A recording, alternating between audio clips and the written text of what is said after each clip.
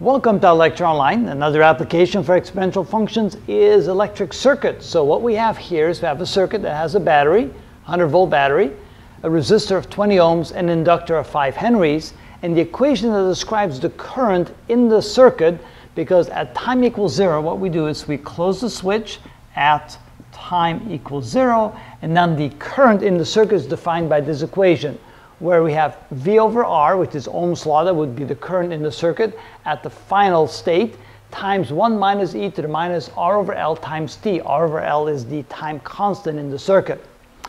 All right, so what we're going to do is we're going to find the initial current, the final current, we're going to solve the equation for t, and then we're going to find out how much time has to elapse for the current to reach 3 amps. All right, what's the initial current? Well, the initial current is when time is equal to zero. So I, when time is equal to zero, is equal to V divided by R times 1 minus e to the minus R over L times zero. Now, any exponent being zero, we always get one. So e to the zero power is one, which means that this is equal to V over R times 1 minus 1, which is equal to zero. That means when time is equal to zero, the current is equal to zero. So I equals zero when the time is zero. What will be the final current? Well, the final current will be reached when time goes to infinity. So I, when time approaches infinity, is equal to V over R times 1 minus e to the minus, and that would be R over L to the infinity. All right, so this is the negative exponent that would be 1 over e to the infinity, which is 0. That means this is equal to v divided by r times 1 minus 0, which is equal to v over r, and v is equal to 100 volts, and r is equal to 20 ohms. That would be equal to 5 amps. So when time reaches, when, when a lot of time has gone by and the, and the circuit stabilizes, reaches its final value, the final value in the current will be 5 amps. So it starts at 0 amps and it goes all the way to 5 amps. Right? How much time will have elapsed when I equals 3 amps? Well, to, to do that, we first need to take the equation and solve it for t. So here's our equation. In order to solve that equation for t, we'll have to isolate this portion of the equation.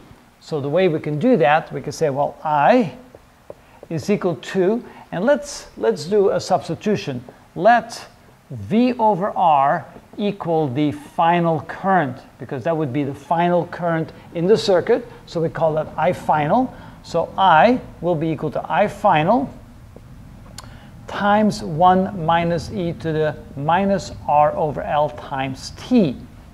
So we multiply that through, we get I as a function of time is equal to I final minus I final times e to the minus r over L times t. Now we divide, or not divide, we subtract I final from both sides. So we have I t minus I final is equal to minus I final times e to the minus r over L times t. Next, I'm going to multiply both sides by negative 1 by flipping this around. So I final minus I as a function of time is equal to the positive I final times e to the minus r over L times t. Now we divide both sides by I final to isolate this portion of the equation. So let me come up here. So we have I final minus I as a function of time divided by I final is equal to e to the minus r over L times t. And now we can take the natural log of both sides because now we can solve for t in that fashion. So we take the natural log of I final minus I as a function of time divided by I final is equal to the natural log of e to the minus r over L times t. And of course, this negates the exponential function. We get this back. I'm going to switch the equation around. So minus r over L times t is equal to the natural log of I final minus I as a function of time divided by I final. All right. Now I'm going to multiply both sides by negative L over R, and then I isolate, isolate the time. So the time is going to be equal to negative L over R times the natural log of I final minus I as a function of time divided by I final. And now I'm ready to solve my final portion of the problem. I want to know how much time has elapsed when I reaches 3 amps. So let me plug in all the values. So the time when I equals 3 amps is equal to minus L, L is 5, and R is 20, times the natural log of I final. I final would be 5 amps. I think I got that here somewhere. I lost it. Where did it go? Right here.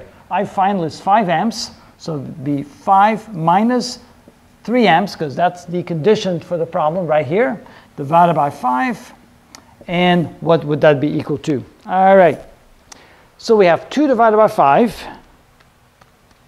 Take the natural log of that, multiply it times a negative 5, and divide by 20. And the amount of time that has elapsed is 0.229, and that would be in terms of seconds. And so that's how much time it would take for the current to reach 3 amps.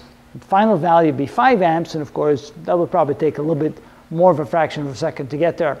And that's how we figure out the current in a circuit using these logarithmic and exponential functions. And that's how it's done.